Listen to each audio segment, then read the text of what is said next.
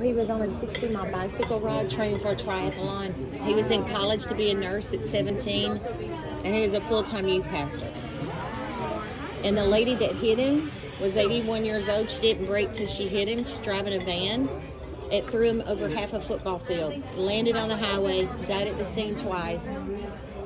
Airlifted, and they removed his skull because of the swelling of the brain. Five and a half years later, he met the lady because I was writing the chapter in his book, God Help Me Forgive. God spoke to me to go and to go meet her and give her peace. So we reached out on Facebook. He went, and that's the picture in the video of him meeting her and praying for her. That's the bike that he got hit on that he it got rebuilt and there's actually a little bitty video on there of him getting back on that bike and riding it. It's called Conquer Your Fears. She died two weeks later. He prayed for her that day and let her know she was forgiven and it gave her peace